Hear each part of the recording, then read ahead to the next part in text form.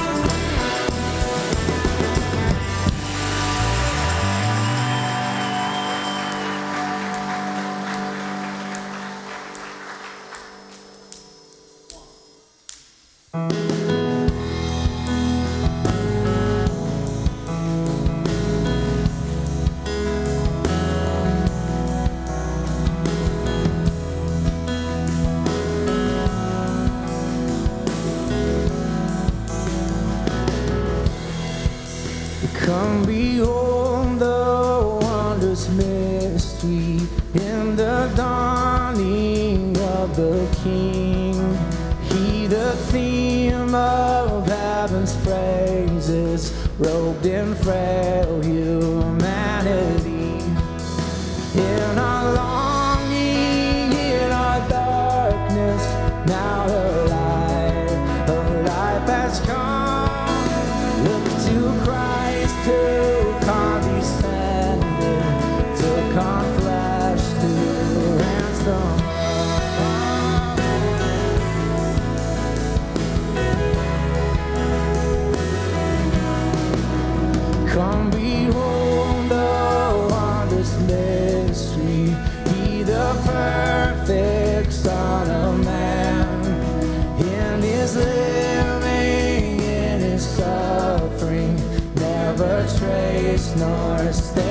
sin.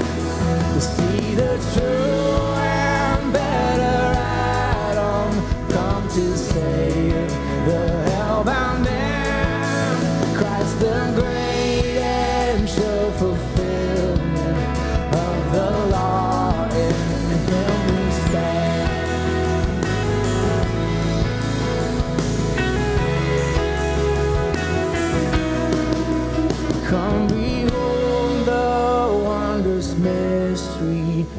the Lord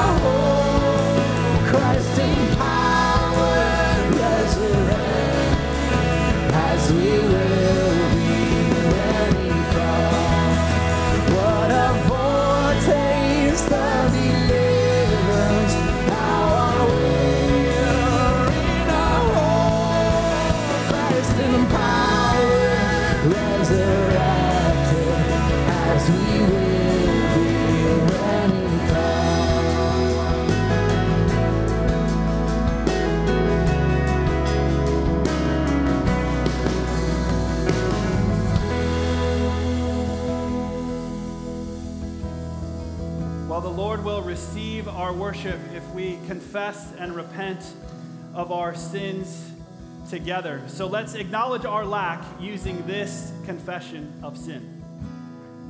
Almighty and merciful God, we confess that we have sinned against you. We have left undone the things which we ought to have done, and we have done the things which we ought not to have done. Have mercy, O God. Forgive our sin and grant that we may live in your light and walk in your ways for the sake of Jesus Christ, our Savior. Amen.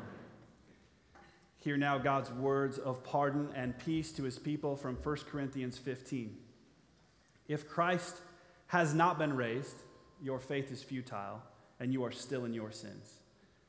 But in fact, Christ has been raised from the dead. Yeah. So, to all who hope in Jesus Christ this morning, I declare to you that your sins are forgiven. This is the good news of the gospel. Rest in it and be at peace.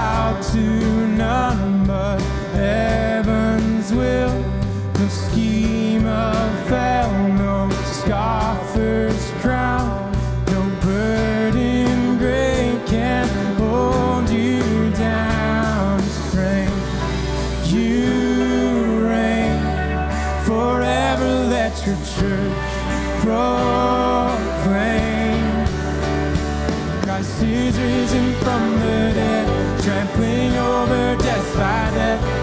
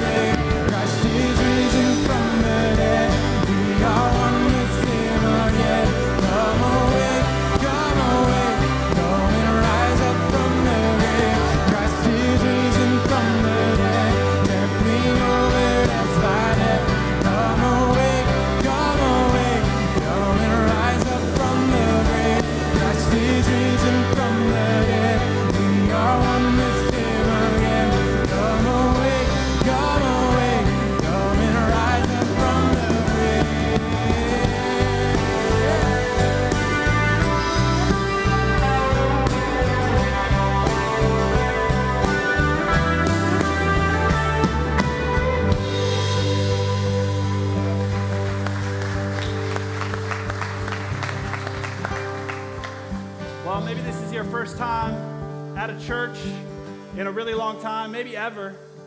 And uh, you should know that we're a church that's striving not to be necessarily hip or trendy. In fact, we're striving to actually be old and historic and well rooted. And one of the things that roots us as a church is the Apostles' Creed. And it seems fitting, especially on Easter, to, to recite the Apostles' Creed because the Apostles' Creed unites us not just to one another in the room, but to Christians anywhere and everywhere throughout the world today. And so let's profess our faith using the Apostles' Creed. We believe in God the Father Almighty, maker of heaven and earth, and in Jesus Christ, his only Son, our Lord, who was conceived by the Virgin Spirit, born of the Virgin Mary, suffered under Pontius Pilate, was crucified, died, and was buried. He descended to the dead. On the third day, he rose again. He ascended into heaven and is seated at the right hand of God the Father Almighty. From there, he will come to judge the living and the dead. We believe in the Holy Spirit, the Holy Catholic Church, the communion of saints, the forgiveness of sins, the resurrection of the body, and the life everlasting. Amen. Why don't you turn and greet somebody without shaking hands? Just maybe make some eye contact through your mask. Greet somebody in the name of Christ.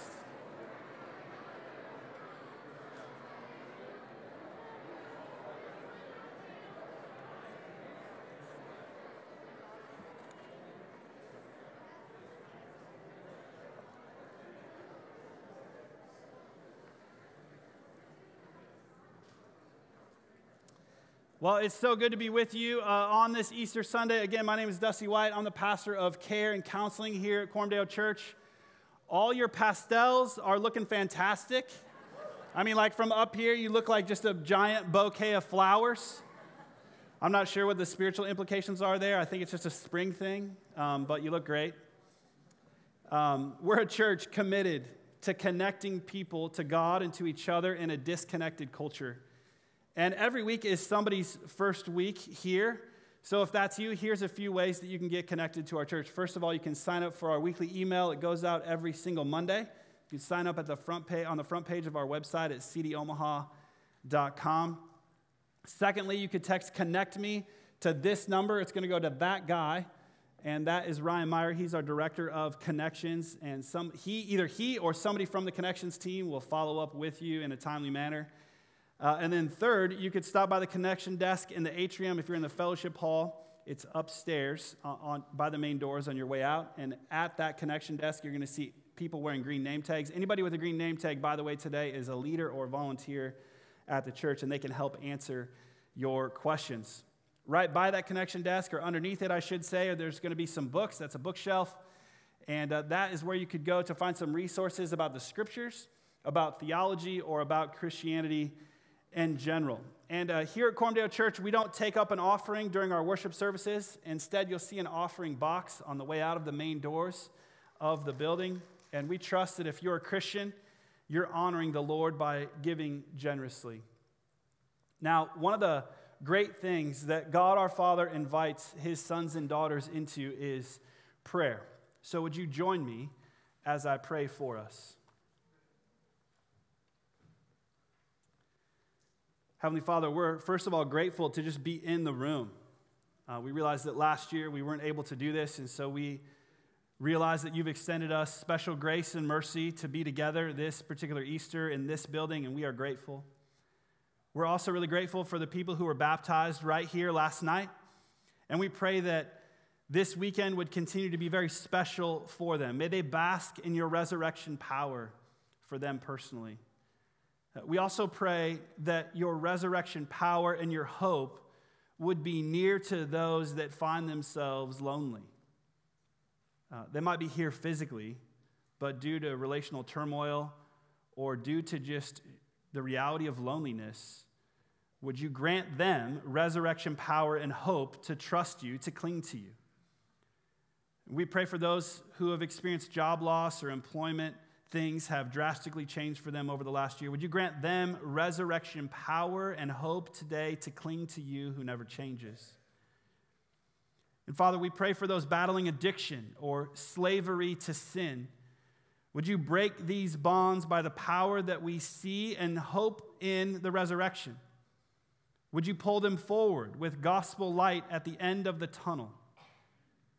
And Father, today, may, may we not just show up here and dress up here. We need Jesus, and we need the resurrection power that he grants to his people. And so, would you break the bonds of sin? Would you set captives free? And would you turn on the light of salvation for those that you're drawing to yourself even this morning?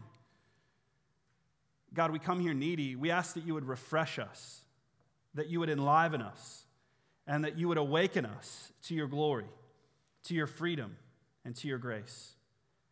We are here to encounter and worship the risen Christ and to see you gain more ground today and this week than yesterday. And now we pray as a church Our Father, who art in heaven, hallowed be thy name. Thy kingdom come, thy will be done, on earth as it is in heaven. Give us this day our daily bread, and forgive us our debts as we forgive our debtors. And lead us not into temptation, but deliver us from evil. For thine is the kingdom and the power and the glory forever. Amen.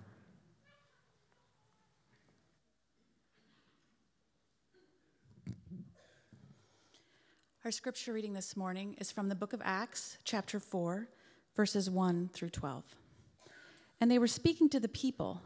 The priests and the captain of the temple and the Sadducees came upon them, greatly annoyed because they were teaching the people and proclaiming in Jesus the resurrection from the dead. And they arrested them and put them in custody until the next day, for it was already evening. But many of those who had heard the word believed, and the number of the men came to about 5,000. On the next day, their rulers and elders and scribes gathered together in Jerusalem with Annas the high priest, and Caiaphas, and John, and Alexander, and all who were of the high priestly family. And when they had set them in the midst, they inquired, By what power or by what name did you do this? Then Peter, filled with the Holy Spirit, said to them, Rulers of the people and elders, if we are being examined today concerning a good deed done to a crippled man, by what means this man has been healed, let it be known to all of you and to all the people of Israel that by the name of Jesus Christ of Nazareth, whom you crucified, whom God raised from the dead, by him this man is standing before you well. This Jesus is the stone that was rejected by you, the builders, which has become the cornerstone, and there is salvation in no one else. For there is no other name under heaven given among men by which we must be saved. The word of God for the people of God.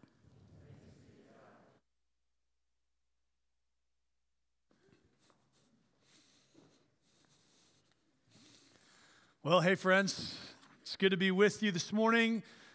It's Easter, so the sermon is about the resurrection of Jesus. I hate to spoil it for you if you didn't know that that's what we're going to talk about. That's the deal this morning. Um, I realize in this particular service, the 9:30, there are some of you joining us on the live stream, and so uh, if we're meeting you in your living room, thank you for joining us. And to those of you who are here in person, really great to be here with you. My name is Bob. I'm one of the pastors here within the Coram Deo Church community. Uh, Coram Deo family, it's great to be with you. This is our first Easter in this building. It got canceled last year, so good to have an actual Easter here with you. Yeah, that's cool. And by the way, I realize this is also a Sunday when lots of guests are among us. And so, man, if you're here and perhaps you're not even a Christian, you're here among a church and sort of exploring what Jesus is all about. And if that is you, I know it takes courage to come into a room like this where a bunch of people are singing songs to Jesus. And this feels very religious and very intense. And so, really honored to have you here among us as we explore the Word of God together. Um, Here's what I want to remind you of as we get started this morning the resurrection of Jesus is a historical event. Uh, we're talking about something that took place in time and space and history. And Christians have always been very upfront about the fact that if the resurrection didn't actually happen, if there wasn't a person named Jesus who got out of a grave in Jerusalem in or around 33 AD, if that didn't happen, then what we're doing here is meaningless. Uh, in fact, in 1 Corinthians chapter 15, a verse that Dusty referenced earlier, uh, the scriptures say to us if Christ has not been raised, then your faith is futile. So Christianity is not a practice in like spiritualizing the resurrection, and isn't it great that sort of we can just pretend like Jesus rose from the dead? Christianity is based on the truth that the resurrection of Jesus really took place in time and space and history. And the best evidence for the resurrection, or some of the best evidence for the resurrection, is the existence of a community of people who were so convinced that this took place that it changed their entire lives. It changed everything about them. People don't tend to give themselves and to give their lives for an illusion. You and I both know people can believe all kinds of crazy stuff, but at the end of the day, if they have to die for something crazy, they're going to reassess what they think, right? And what we have in the early church, in the record of, of this movement called Christianity, is a bunch of people who were so convinced that Jesus rose from the dead, they literally gave their lives proclaiming that that actually happened. And we're going to look this morning at the testimony of some of those early followers of Jesus, some of those first people to believe and testify that the resurrection really did happen and that it had implications for the world. So, if you have a Bible, I want you to open it to Acts chapter 4, the passage that we just heard read. Uh, if you didn't bring a Bible, there's one under a seat near you. And in that particular Bible that you'll find, uh, Acts chapter 4 is on page 857. We're about to put the words up on the screen, and so you're like, why would I open the Bible? You're just going to put it up on the screen for me, and I'm going to see it there. Uh, but we like the actual Bible, so feel free to open it if you have one. Acts chapter 4 verses 1 through 4. Let's get ourselves into the story. And as they, this is Peter and John, two of Jesus' most famous disciples, as they were speaking to the people, the priests and the captain of the temple and the Sadducees came upon them, greatly annoyed, because they were teaching the people and proclaiming in Jesus the resurrection from the dead. So notice what they're proclaiming the resurrection of the dead. And they arrested them and put them in custody until the next day, for it was already evening. But many of those who had heard the word believed, and the number of the men came to about 5,000. We're coming in here just a few months after the resurrection of Jesus. This is in Jerusalem, the very same city where Jesus died. And these early disciples are proclaiming in Jesus the resurrection from the dead. Presumably, if the Jesus didn't rise from the dead and they're in the city where he was crucified, all we have to do is go over to his tomb and say, guys, he's right here. Let's just put all this to rest. This is a conspiracy theory, right? But in this city where Jesus himself was publicly crucified, these apostles are proclaiming the resurrection of the dead. And it says, so many people are persuaded by this that there's 5,000 men, it doesn't even give us the number of women and children who join and believe that Jesus really was raised from the dead and come into this new movement called the church. The reason it only gives us the number of men here is significant, and here's why. Because in Judaism, as the Jewish faith spread throughout the world, to form a synagogue in a new city, you had to have 10 Jewish men. So the writer of the book of Acts is telling you there is 500 times as many people as that forming this new thing, kind of like a synagogue called the church in Jerusalem. This thing's massive. It is a massive movement. And what's happened to sort of create this amazing response is not only are they proclaiming the resurrection from the dead, but earlier in the day, a lame man had been healed. That's what we read about in Acts chapter 3. There's a man who's been crippled from birth and who everybody is used to seeing at the gate of the temple because he's there asking for charity. He's begging for alms. This is something in the first century that was very common, and it's a way that God provided for the needs of the needy. And so this guy had been there for years begging at the gate of the temple. This is like if you drive around the city and you come to that one intersection where there's always that one person kind of panhandling and you sort of like build a rapport because you look at them one time and but then the next day you're there again and then the next day you're there again and it's always like you sort of develop this friendly like oh there's the panhandler again and th- th- it sort of creates this familiarity. That's what's happening. Everybody knows who this guy is. He's not unknown. He's not some random person in the city. He's the, he's the guy that for years has been begging at the gate of the temple. And Peter and John come upon this guy and they say, Hey, actually, in the name of Jesus, why don't you get up and walk? So this guy is healed, and now he's walking around Jerusalem saying, Hey, guess what? Jesus has healed me. And so this is obviously unsettling and surprising, and people are talking about it, and the word is out in Jerusalem that something is afoot. And so this little Jesus movement is upsetting the balance of power in Jerusalem. And so the religious power brokers, call in the apostles and they ask in verse 7 By what power or by what name did you do this? Notice they don't say, Hey, we all know that guy wasn't really crippled. This is like a publicity stunt you guys put together. They don't say, hey, we think psychologically maybe he thought his legs didn't work and there was just sort of like a, a new way of seeing and he sort of was psychologically healed. They say, hey, how in the world, by what power, by what name did you heal that guy? Like, how did this come about? And here's the answer the apostles give.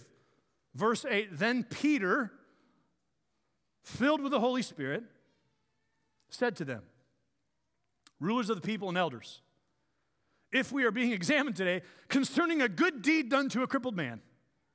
Oh, so that's why that's what, what you want to know is how did we do this good deed? By what means this man has been healed, let it be known to all of you and to all the people of Israel that by the name of Jesus Christ of Nazareth, whom you crucified, whom God raised from the dead, by him this man is standing before you well. This Jesus is the stone that was rejected by you, the builders, which has become the cornerstone. And there is salvation in no one else, for there is no other name under heaven given among men by which we must be saved.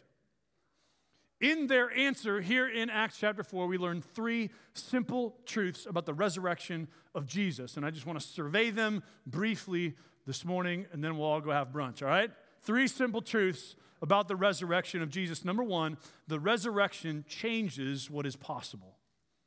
The resurrection changes what's possible. Our greatest conceit as human beings living in the modern world is that we think we know what's possible. Like we're actually very arrogant about what we think we know about how the world works and the possibilities that do and don't exist in the world. If we don't personally know it, there's an expert somewhere who knows everything there is to know about something. And so, generally speaking, as a human community, we're convinced that we know what is possible. And yet, every once in a while, something happens to remind us how little we know about what's actually possible. Perhaps you saw the news that came last week out of the Large Hadron Collider, the most famous physics experiment in the world. The Large Hadron Collider is a physics lab in Switzerland. It's the world's largest particle accelerator. If you're not into science, here's what it consists of it's a 27 kilometer ring of superconducting magnets chilled to a temperature of minus 271 degrees centigrade, colder than outer space. This configuration allows two particles to be accelerated toward one another at a very high rate of speed and to collide in a way that produces the possibility to explore new avenues of physical science. One uh, researcher described it this way it's like firing two needles 10 kilometers apart with such precision that they meet halfway. So basically, I'm gonna stand here, you're gonna go down to Little Italy, we're both gonna shoot a needle, and they're gonna meet each other exactly halfway between us. Right? That's some pretty fine tuned science. Well, last week, physicists at the Large Hadron Collider announced that they might have discovered a new force of nature. According to the original press release, they unveiled new results which, if confirmed, would suggest a violation of the standard model of particle physics. In other words, what these scientists are telling you is we don't know everything that's possible. That's the whole reason that we do these experiments, is because we're learning new things every day about how the universe works. In fact, it's possible, it hasn't been confirmed yet, but it's possible that we've discovered a new force of nature. That there's things happening in the physical world we haven't even figured out yet. We don't know everything that's possible. And see, the resurrection changes what is possible. Look at verse 10 of Acts 4 again. Let it be known to all of you and to all the people of Israel that by the name of Jesus Christ of Nazareth, whom you crucified, whom God raised from the dead, by him, this man is standing before you well. In the normal course of events, lame people don't just get up and start walking. But the resurrection changes what's possible. It brings something new into the world. By the way, keep in mind, sometimes we look at events like this in the Bible and we think, oh, well, this is some, some sort of like random miracle. It's not. It's a sign to testify to the reality of the message that, being, that is being preached. And keep in mind, not every lame person in Jerusalem was healed. There were certainly other people who were disabled besides this one man.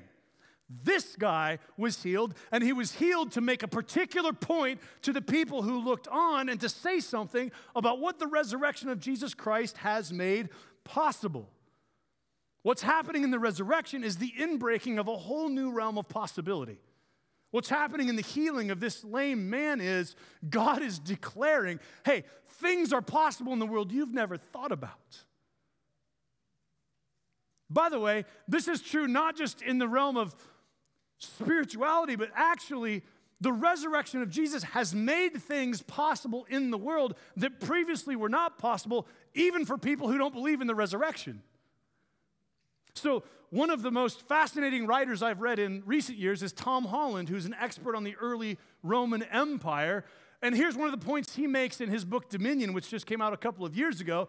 He says, Hey, things we take for granted in the Western world, things like the existence of human rights, things like the fundamental equality of every human being, things like the importance of freedom, these things are the heritage of Christianity. You can't explain the existence of these things in the world apart from the Christian faith. Because if you go back to Rome, they certainly didn't believe in the equality of every human being. They certainly didn't believe there was such a thing as human rights. They certainly didn't believe in the concept of freedom that we embrace. So even if you reject entirely the resurrection of Jesus and you totally are a skeptical, secular Western person, the way you understand the world to be is grounded in the resurrection of Jesus and the movement that came out of that. The resurrection changes what's possible in your life and in the world. So, listen, the resurrection changes what's possible for you this morning. The healing of your body is possible. Recovery from your addiction is possible. The restoration of broken relationships in your life is possible. Because Jesus Christ has risen from the dead, things are possible in the world that previously were not. The resurrection of Jesus, friends, changes what's possible. Here's the second thing I want you to see the resurrection of Jesus is the foundation of something new. The resurrection of Jesus is the foundation of something new. Look at verse 11 of Acts 4. This Jesus, is the stone that was rejected by you, the builders, and which has become the cornerstone. Now, so we have stone, builders, cornerstone. This is construction language, right? And any of you who have been around construction know it all starts with the foundation. Or any of you that have had a wet basement know it all starts with the foundation, right? If the foundation is not good and sound and stable, bad things are going to happen in the construction project. This text is saying this Jesus has become the cornerstone, the foundation stone. The cornerstone of what? What is the building? What is the structure that the text has in mind? Well, hold your finger in Acts 4 and flip over to 1 Peter chapter 2. Remember, 1 Peter chapter 2 is written by Peter, the very person who's preaching here in Acts 4.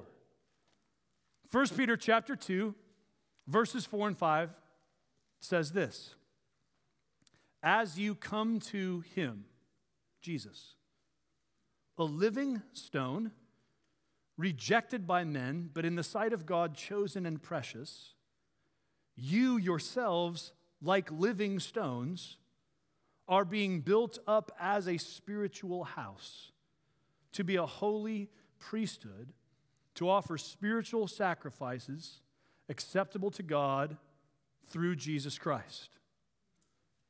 So, Jesus is the cornerstone of what? Well, this text in 1 Peter tells us that you, as you come to Jesus, become a living stone in this spiritual house that God is building that starts with Jesus as the cornerstone. And notice in 1 Peter 2, there's language of sacrifice, there's language of priesthood. This is temple language. It's drawing on the imagery of the temple and the tabernacle of God in the Old Testament. Listen, every religion on earth has sacred spaces. Every religion on earth has spaces, places where they believe that heaven meets earth, that the divine and the human come together, that God meets human beings. In the Old Testament, that place was the temple. It was holy and set apart because it was a place where God met with human beings. What this text is telling you is that in light of the resurrection of Jesus, the sacred space in Christianity is not a place, but a people. God is building a people, and the foundation of that people is the resurrected Jesus Christ. The resurrection is the foundation of something new. It's the beginning of this great building project. God building a people. Notice the language of construction in 1 Peter is mingled with the language of like an organism, right? You're a living stone. So, stone is a construction image, but a living stone, something that has life. It's implying that you and I, as human beings, are being built into the spiritual house that God is building. God is building a people, and the risen Jesus Christ is the foundation and the cornerstone of that people. Listen, I want you to be a part of that people. God is inviting you to be a part of that people. It says, as you come to Him, to Christ, then you get built into that people. In other words, listen to me. Church is not something you go to, church is a people you belong to. And that changes everything. The church is not a building that you go to, it's a people you belong to. By belonging to Jesus, as you come to Him, as you come to Jesus, as you build your life on the foundation of his life, death, and resurrection, you are built into this spiritual house. So I invite you to come to Jesus this morning to build your life on this foundation. The resurrection is the foundation of something new. God is up to something in the world, God is building something, God is putting together a massive project called his people, and it all starts with the resurrection of Jesus. The resurrection is the foundation of something new. Here's the third point I want you to see about the resurrection the resurrection implicates you. You have to do something with the Lord Jesus Christ. The resurrection implicates you. Look at verse 12. Oops, I'm in 1 Peter. All right, Acts 4, verse 12.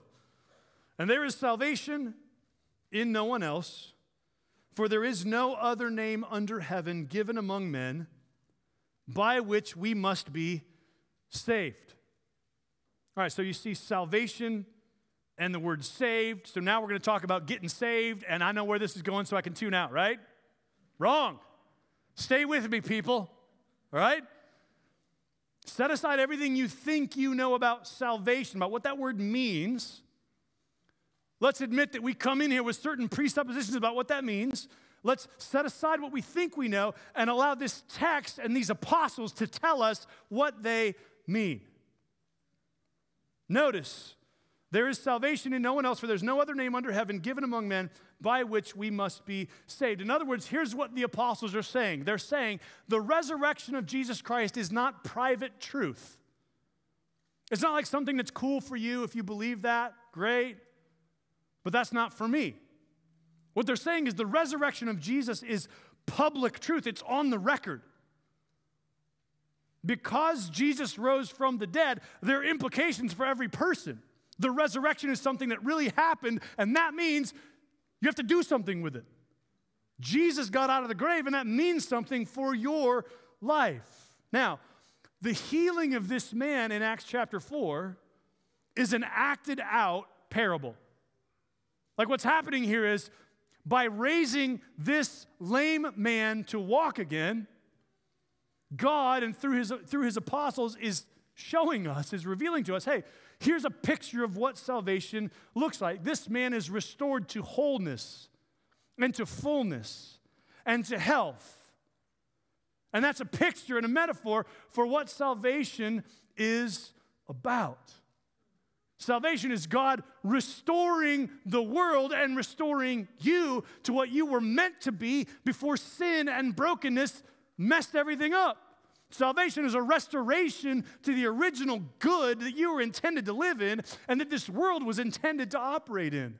That's what salvation is. And here's, here's what the Bible says about the reality of salvation, right? Our culture tends to think, you know what the problem is? It's all out there. The problem is out there. The problem is the wrong party is in power, or the wrong policies are getting enacted, or the, I was raised in a bad family system, right? It's all, the problems are out there, and if we could just fix all of that, then life would go as it should. The Bible is exactly opposite from that. The Bible says, yes, all that is true. And do you know why all that is true? Because it starts with a problem in each of us. Like the, the, the key thing that causes the world to be broken is that every human being has gone their own way and turned from God. And so when these apostles say there's salvation in no one else, here's what they're saying there's only one human being in the history of the world who's ever come back from the dead, and it's Jesus. So, of course, who else would you expect to find salvation in? Who else can show us the way back to what God meant for the world other than the Lord Jesus Christ who got out of the grave? Who possibly could bring us back to wholeness, could heal us in all the ways that we're broken? Could forgive our sin in all the ways we need to be forgiven, who else but someone who came back from the dead? Because after all, isn't death what all the brokenness in the world is sort of pointing us to?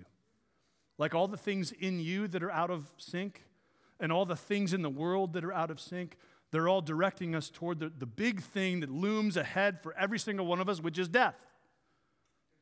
And the Bible says death exists because sin exists, because we have rebelled against God. And so, how do we defeat death? By defeating sin, and Jesus Christ defeated both, and that's why he rose from the dead, and that's why he's our hope. That's why he can only offer us salvation. So, look at the last four words of verse 12. We must be saved. We need this. We are in dire straits. We must be saved. You, friend, need salvation. You need to be restored to wholeness. You need healing. You need the broken places in your life to be bound up and put back together. And you also need forgiveness. You need to be forgiven for the ways that you have contributed to the brokenness of the world through your selfishness, through your sin through your self interest and self love.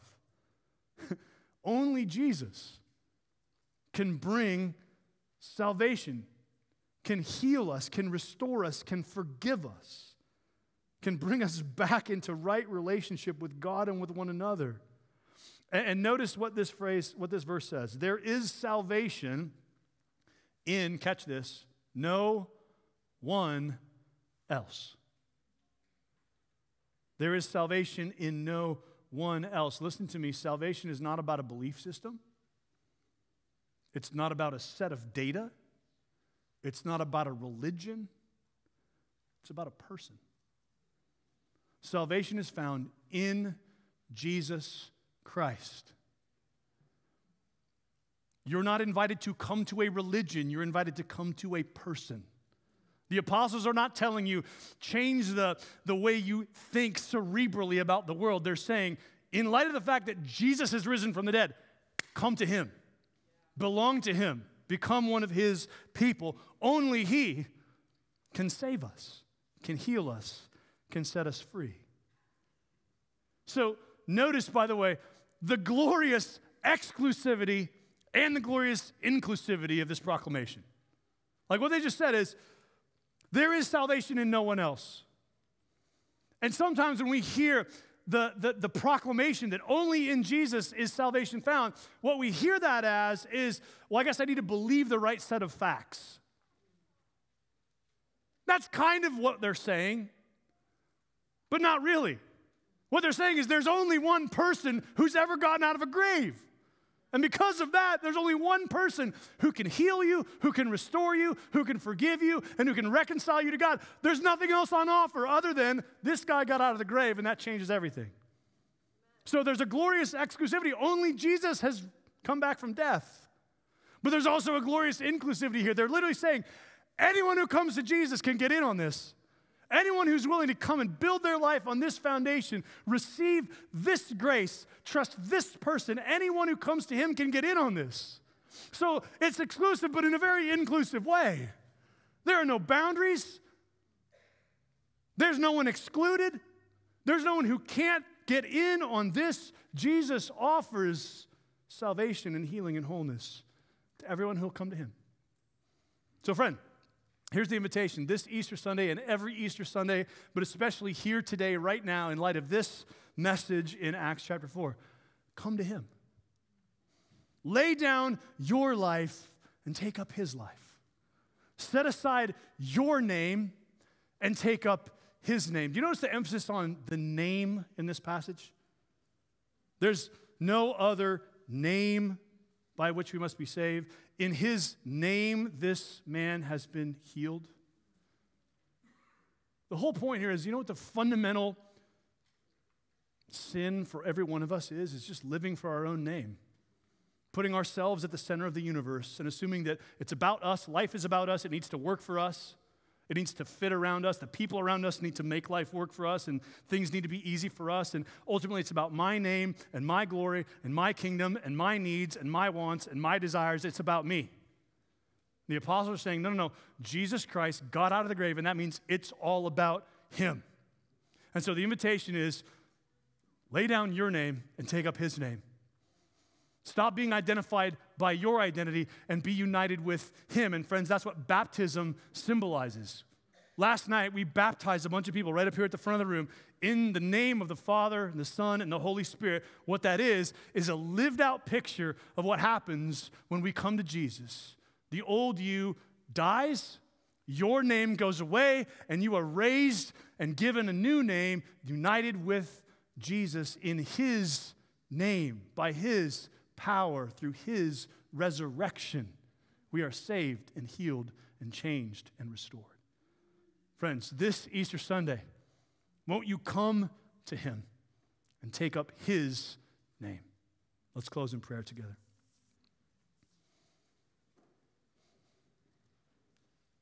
Lord Jesus Christ, we thank you for the glory of your resurrection. We thank you for the courage of your early apostles. We thank you for this inspired word from you, reminding us that you alone can save us and restore us and heal us because no one else has come back from the dead. No one else has conquered death. So, Lord Jesus Christ, for those within the sound of my voice this morning who have not trusted in you, who have not come to you and built their lives upon the foundation, the cornerstone of the name of Jesus Christ, would you beckon them and draw them to yourself this morning? And for all who've been united with you, who have taken up your name, who have testified in baptism that they have trusted in you and are hoping in you. Would you renew and restore our hope and our courage and our confidence and our faith this morning? Remind us that the resurrection makes entirely different things possible in the world. And so, in the places in our lives and in our stories where we need to experience new life, new grace, new peace, new things, new possibilities. Meet us in those places and remind us of your goodness and grace this morning. We pray for our good and your glory. Amen. Well, friends, Jesus Christ now invites us to his table. So every week when we gather together for worship, we come to the sacrament of communion, coming to the Lord's table. We just saw from Acts 4 that the resurrection changes what is possible. And that's true here at the Lord's table. This is bread and wine, and it remains really bread and really wine. And yet, in this table, Christ makes himself available to you, invites you to come and feast on him and celebrate friendship and communion with him. We just saw in Acts 4 that the resurrection is the foundation of something new. And that's what this meal represents it, that we are a new people united with the Lord Jesus Christ, existing and living in a different, new reality brought about by the resurrection.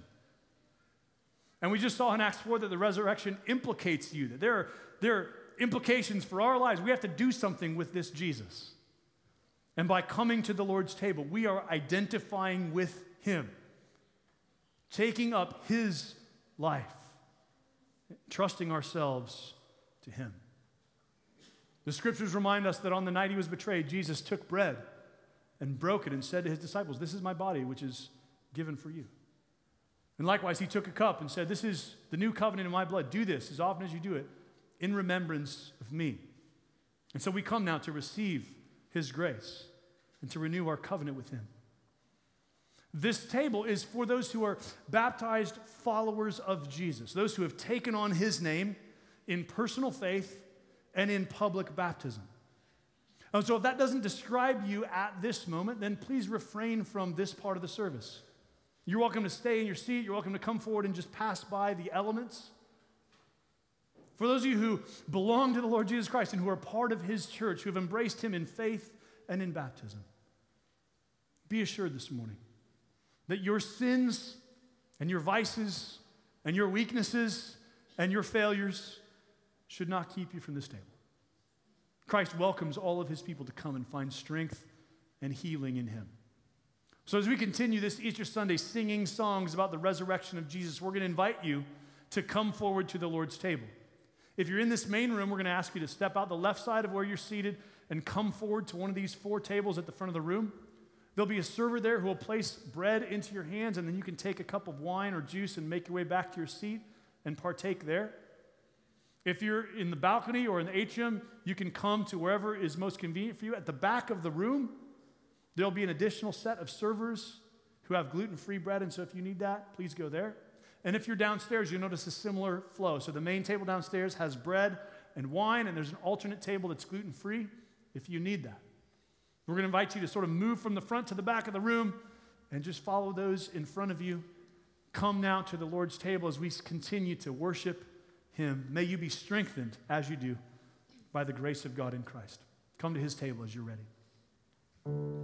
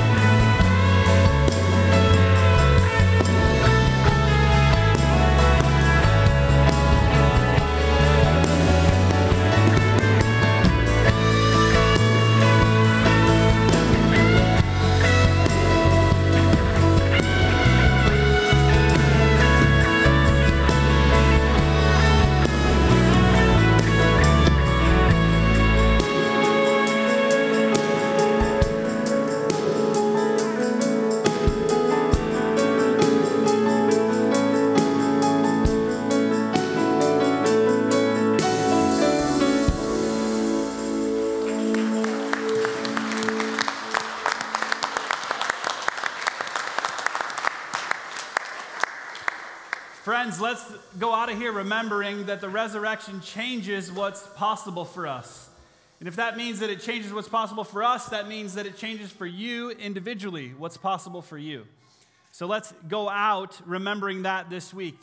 Listen, we expect and we hope and anticipate that some of you might need prayer this morning, or maybe some of you just want to chat a little bit more about the gospel of Jesus. Maybe you're provoked by that whole message on the resurrection of Christ. We'd love to pray with you, we'd love to chat with you.